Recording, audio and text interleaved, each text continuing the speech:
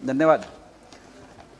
देश में पिछले कुछ वर्षों में ओ टी टी प्लेटफॉर्म ये काफ़ी प्रचलित हुआ है और ये ओ टी टी प्लेटफॉर्म सेंसरिक प्राधिकरणों से मुक्त होने के कारण अभिव्यक्ति की आज़ादी के नाम पर उसमें ऐसे कंटेंट प्रसारित किए जाते हैं कि जो वेब सीरीज़ के अंदर अननेसेसरीली हिंसा, वायलेंस, ड्रग एब्यूज और विशेषकर हिंदू धर्म के देवी देवताओं के ऊपर टिप्पणियाँ और उनका अभद्र चित्रण किया जाता है।